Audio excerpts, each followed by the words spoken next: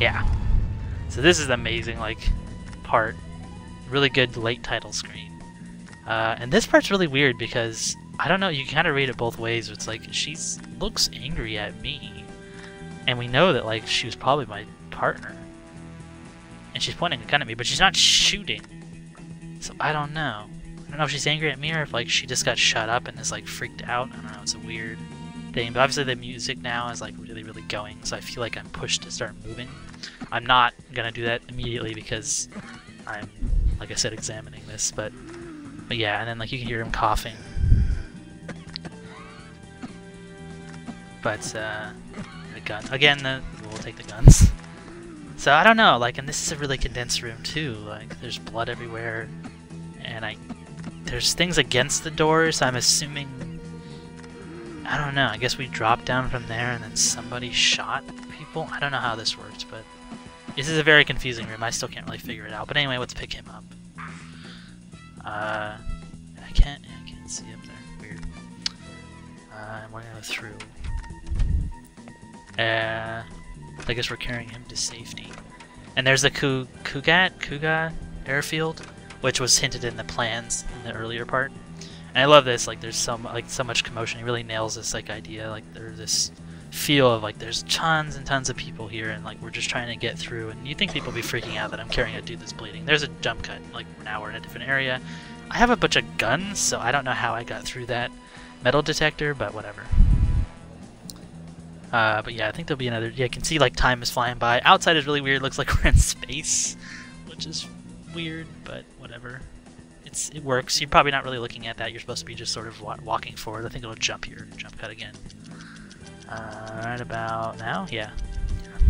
This is also a really giant room for like no reason. Like, what is the point of this? But it doesn't matter. Like, you're supposed to be just walking forward. And now the time is pretty slow, so like, actually it stopped. Now it moves and then like you can see all the flights like and this guy's listening to music he's not paying attention so we'll take his cart uh, and then yeah then see it switches again because we were looking this way. I think did the color scheme change? Because wasn't it dark? Or at least it lit up. Uh, and there's people moving now. Uh, you know back to the airport getting him getting him faster to safety I guess. Still space outside. And then like a yeah hard jump to a flashback. Spoilers is a flashback. Um, and it's like weird like look at that. Like it just cut the music off like and it still it still works. Like in the moment when you're just playing through this that cut it's it works really well because it just sort of all of a sudden it just makes this whole part like just oddly si- oddly silent because like you know you were just in this like frantic moment and now you're in this like really really quiet part. So something's off here. Like obviously you either probably like you're seeing her which is anita so you're probably thinking like is this a flashback or is this afterwards or something, but she was all bloodied up and she has her vest here, which also another visual thing, like you can see her the lights on her and you're coming up and seeing that like okay, she's not all shut up and she's got her boots off, shoes off. And she's doing something as sort of mundane as just peeling oranges. You can't talk to her though.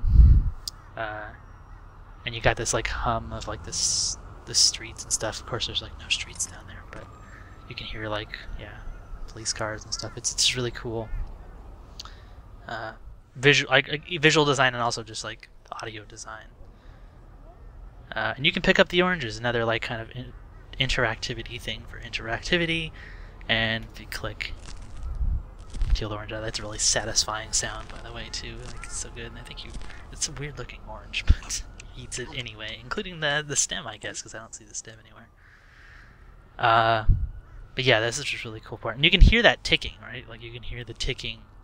Uh, it might be hard to hear in the recording, but uh, oh, and actually also you can see these police monitor things flying around, which makes it weird because this is a really weird uh, place. Because why are there like bok choy places on in like a huge apartment building that's like giant? Looks like there's an abyss down there, but we're not playing Dark Souls, so. Uh, yeah, you can hear the ticking, so they're already hinting at like something is off here. And I, I, I love this. Like as soon as you go over here, so you see that's 5:21 a.m. Another visual thing. That's like that's where you're you're you're looking at, and that's like another thing too. Like the theme of this game. Obviously, like I've said it a hundred times, the visual, but like a lot of games have a hard time because like the player can be looking around at anything he wants to. And like this, it's pretty rare that a player is probably going to be doing this. He could be walking backwards for some weird reason. Maybe he's speed running it. Uh, but you're gonna see the 5:21 a.m. and realize what time it is, and like you can connect that stuff yourself. And it's not like telling you like in the corner like oh 5:21 a.m. the apartment. It doesn't need to do that. And then here's another cut. And then like even if you go back, it stays consistent. She's not there anymore. I don't even know if the uh, yeah the the peels are still there. Time didn't really change, so I guess it's probably not that much later. What's the time now? Yeah, 7:53 p.m. So I guess it did change quite a bit. You'd think that it'd be like it's I guess it's the next day, so there's this hard jump there. And it's like the one time they actually talk like that, which is weird, but you can tell like from the cake and the the beers, I think, the alcohol, you're gonna be going to probably a party. That's my guess. The cake actually looked like a wedding cake because there's two people on it, so probably a wedding. Um, and like any game, you have to check all these doors, and of course you can check these doors because why wouldn't you? Uh, and then obviously you get a little bit of reward there with, with one guy looking through. But uh, but yeah, something like that that kind of hints too that there's stairs coming. Another door. Might as well might as well check it. I know I know the outcome here, but there you might as well check it. And then yeah, the stairs. 30 flights. Loving, get it. And another rule of games is you gotta go. They probably went up, but let's go down because we have to, right? It's a video game. We have to try all the options. Oh, a malfunctioning stair, and there is. That's a. All right, that's a malfunctioning stair, and you can't you can't get through. But uh, now we're gonna go up 30 flights. Actually, it's not. It's, it's spoilers. It's not 30 flights. this game's a lie. The the title's a lie. Start to hear the the cats that are up here. Uh, same thing. Like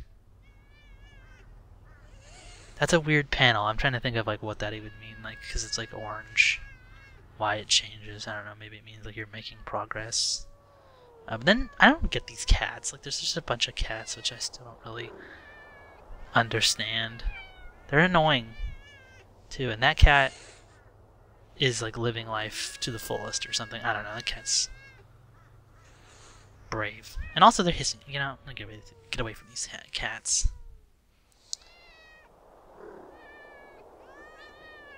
Ah, it's like you can almost hear him worse up here. There's another cat that's living life to the edge. He's living. That's, yeah. Creepy. Cats. I don't know. The internet likes cats. That makes, then, you know. This is a game that you can get on the internet, so maybe that makes sense. No roof access. No roof access. And we're to be on the roof. There's another police thing. No roof access, but we're still here and we're having a party. going against the against the rules.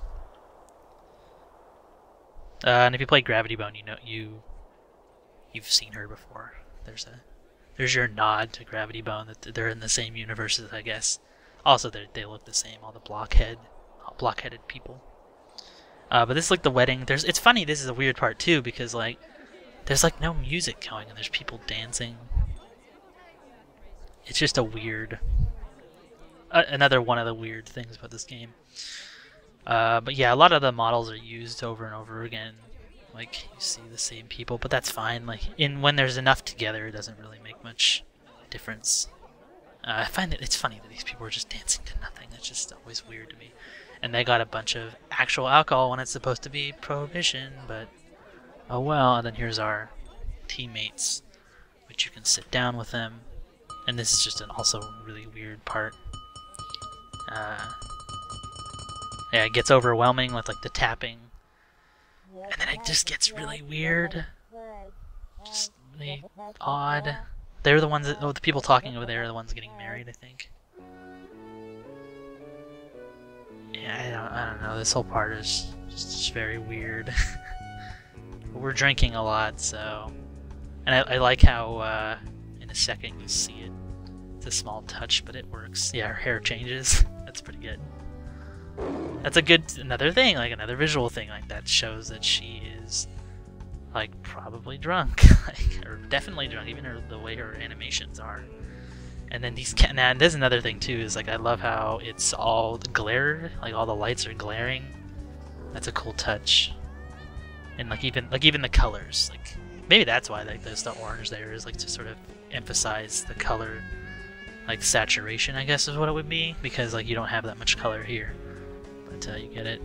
And then yeah, there's a hard cut, and then still you're obviously still in the same time frame, so it's keeping consistent. It's 1:20 at 1 a.m. But with the, you know that because like the glare, at least that's how I knew it.